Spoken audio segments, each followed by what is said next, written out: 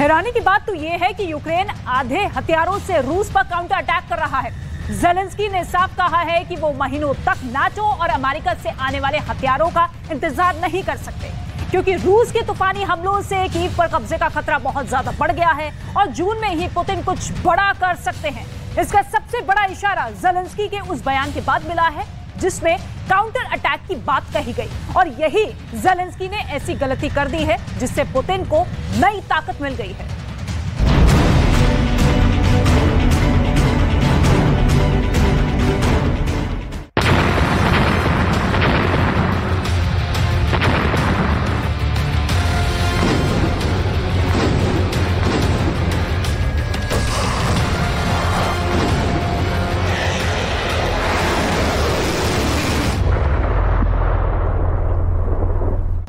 आखिर यूक्रेन की ऐसी क्या मजबूरी है कि भारी हथियारों की कमी के बावजूद जेलेंस्की का यूक्रेन रूस पर आत्मघाती काउंटर अटैक कर रहा है।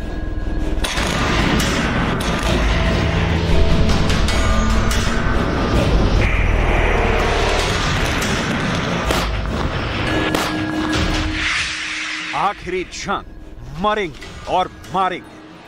यूक्रेन के जनरल किस दम पर दावा कर रहे हैं कि आठ तरफ़ से हो रहे यूक्रेन के हमले रूसी सेना के चीथड़े उड़ा देंगे?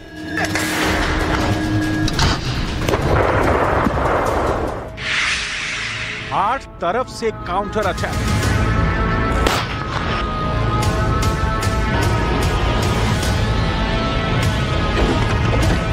लेकिन डिफेंस एक्सपर्ट्स क्यों दावा कर रहे हैं कि यूक्रेन के भीषण काउंटर अटैक महज 15 दिन में रूस के तूफानी हमलों के सामने टिक नहीं पाएँगे। चुन चुन कर मार रहे हैं पुतिन।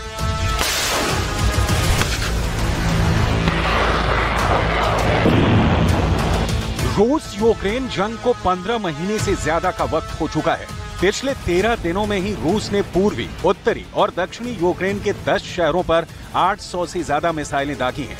अब तक रूस ने पूर्वी यूक्रेन के 30 फ़ीसदी इलाके पर कब्जा कर लिया है, जबकि पुतिन के रूस का टारगेट है कि जल्द से जल्द यूक्रेन के 15 फ़ीसदी इलाके पर कब्जा कर लिया जाए। इसलिए रूस तीन हफ्तों से यूक्रेन की राजधानी कीव समेत कुल 10 शहरों पर भीषण हमले कर रहा है।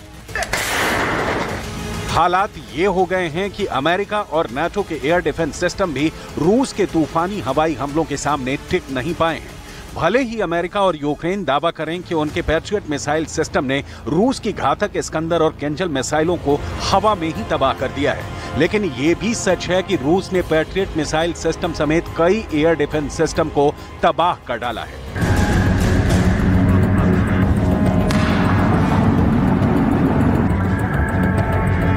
अब ऐसे हालात में यूक्रेन के पास दो ही रास्ते बचे हैं। या तो रूस के सामने सरेंडर करो, या फिर रूस के कब्जे में आए यूक्रेनी इलाकों पर भीषण काउंटर अटैक करो।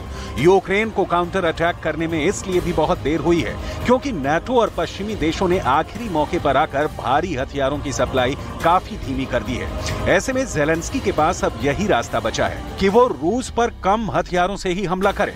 यूक्रेन के जनरलों के साथ हुई मीटिंग के बाद जेलेंस्की ने रूसी सेना के ऊपर काउंटर अटैक का आदेश दे दिया है। लेकिन खुद जेलेंस्की मानते हैं कि रूसी सेना पर काउंटर अटैक यूक्रेन पर भारी पड़ सकता है। जरा देखिए, अमेरिका के वॉल स्ट्रीट जनरल पर जेलेंस्की ने काउंटर अटैक को लेकर क्या कहा है। यूक्रेन के राष्ट्रपति जेलेंस्की ने वॉल स्ट्रीट जनरल को दिए इंटरव्यू में कहा है, यूक्रेन को पूरा विश्वास है, हम रूस के खिलाफ सफल काउंटर अटैक करने में कामयाब होंगे। मुझे नहीं पता काउंटर अटैक कब तक चलेगा, लेकिन यूक्रेन इसे करने जा रहा है। हमारी सेना तैयार है। डिफेंस एक्सपर्ट्स के मुताबिक रूसी सेना पर यूक्रेन का काउंटर अटैक उसके लिए सुसाइड मिशन साबित होगा। क्योंकि पुतिन के रूस ने पिछले पाँच महीनों में ज़बरदस्त तैयारी कर ली है। इस वक्त हर महीने रूस लंबी दूरी की सत्तर से ज़्यादा हाइपरसोनिक मिसाइलें बना रहा है, जबकि रूस के पास रिज़र्व में सात हज़ार टैंक मौजूद हैं, जो यूक्रेन को पूरी तरह से कुचलने के लिए काफ़ी हैं। इसके अलावा सुखोई और मिग सीरीज़ के 700 से ज़्यादा फाइटर जेट और बॉम्बर यूक्रेन के शहरों के चीथड़े उड़ा रहे हैं।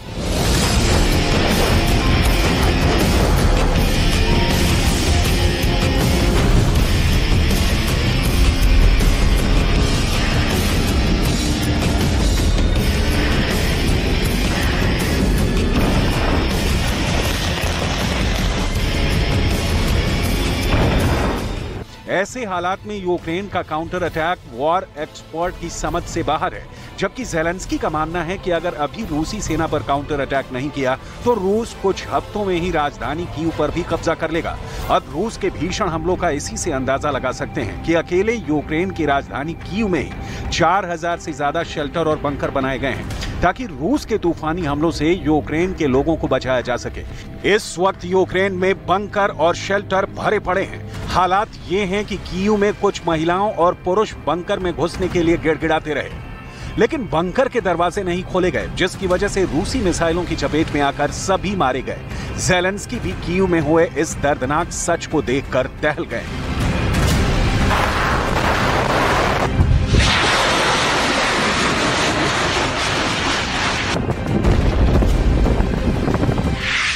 चुन चुन कर मार रहे हैं पुत्र Короткий звіт за цей день. Перше провів ставку. Нагальні безпекові питання.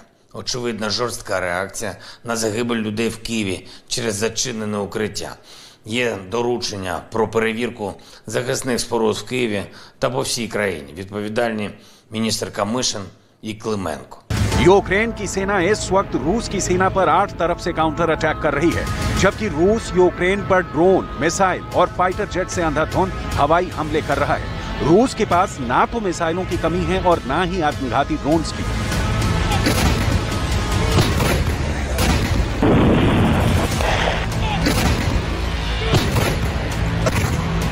आप जरा रूस के इन कामिकाजे यानी आत्मघाती ड्रोन की तस्वीरों को देखिए, जिसे देखकर जेलेंस्की की रूह तक काँप गई है।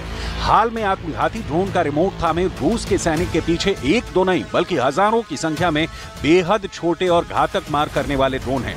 ऐसा लग रहा है कि रूस के ये आत्मघाती ड्रोन सुनामी बनकर पूरे यूक्रेन को भस्म कर डालेंगे। इस वीडियो में रूसी सैनिक ये बता रहा है कि रूस के ये मिनी ड्रोन ना सिर्फ़ यूक्रेन के बड़े और घातक हमलों को तबाह कर सकते हैं, बल्कि बड़ी इमारतों की खिड़कियों से घुसकर पूरी इमारत को तबाह कर सकते हैं। हज़ारों की संख्या में मौजूद इन ड्रोन को देखकर ऐसा लग रहा है कि रूस यूक्रेन पर आत्मघाती ड्रोन से मधुमक्खियों की तरह हमला करने जा रहा है। इतनी भयानक संख्या में रूस के ये ड्रोन जेलेंस्की के यूक्रेन के लिए साक्षात काल साबित हो रहे हैं। अमेरिका के विदेश मंत्री एंटनी ब्लिंकन तक मान चुके हैं कि पुतिन का रूस बेहद ताकतवर है, जिसकी वजह से बेहद कड़ा मुकाबला जंग में हो रहा है।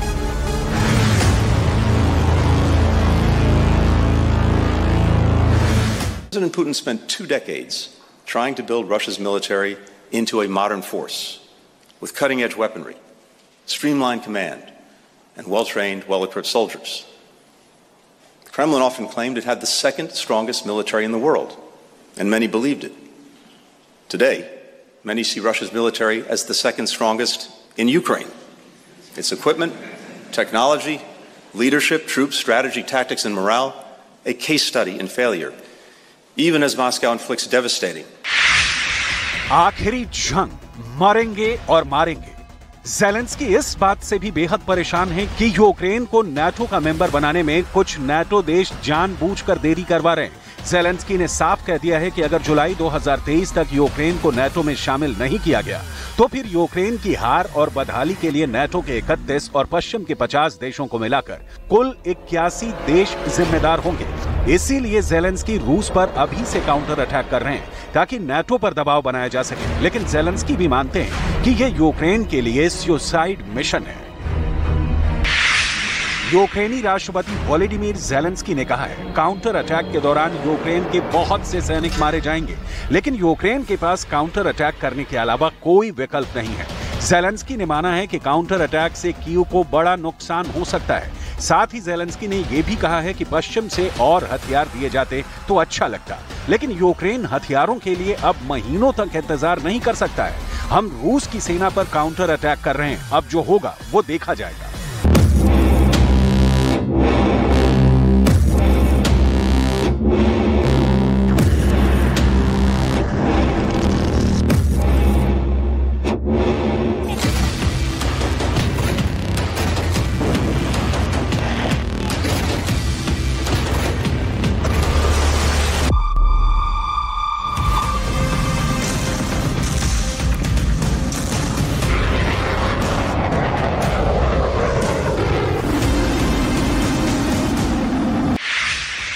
चुन चुन कर मार रहे हैं पुतिन। वहीं दूसरी तरफ़ पुतिन का रूस पूरी तैयारी से काउंटर अटैक पर पलटवार कर रहा है। बकमूत में यूक्रेन के 18 काउंटर अटैक रूस ने फेल कर दिए हैं। जबकि पूर्वी यूक्रेन के 10 फ़ीसदी इलाके पर हुए यूक्रेन के काउंटर अटैक रूस को नुकसान नहीं पहुँचा पाए रूस के राष्ट्रपति पुतिन के प्रवक्ता दिमित्री पेस्को ने दो टू का ऐलान किया है। कि रूस जब तक अपना लक्ष्य हासिल नहीं कर लेता है तब तक रूस हमले करते रहेगा ना तो नेटो और ना ही अमेरिका यूक्रेन को बचा पाएंगे если будет добиваться э, обеспечения своих интересов и своей безопасности. Это означает, означает э, подобное расширение альянса э, и его непосредственное приближение к нашим границам. Э, в том числе членство Украины в НАТО. Естественно, это является э,